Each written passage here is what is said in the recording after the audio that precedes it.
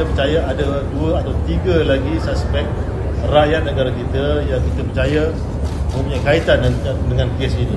Tetapi uh, buat masa ini uh, pihak uh, PDRM masih lagi menjalankan siasatan dan memeriksa segala keterangan yang ada untuk memastikan duduk sebenar perkara kes ini. Untuk uh, itu, uh, PDRM mohon untuk pihak, pihak media bersabar sedikit masa lagi supaya kita betul-betul dapat establish motif sebenar kes yang berlaku di sebalik kejadian melarikan mangsa ini.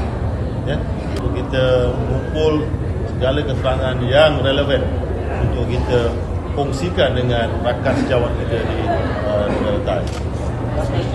Kita pun sudah maklum bahawa apabila berlakunya satu kes melibatkan uh, warga kita ia berlaku di negara asing kita sebenarnya tidak punya kuasa untuk bertindak.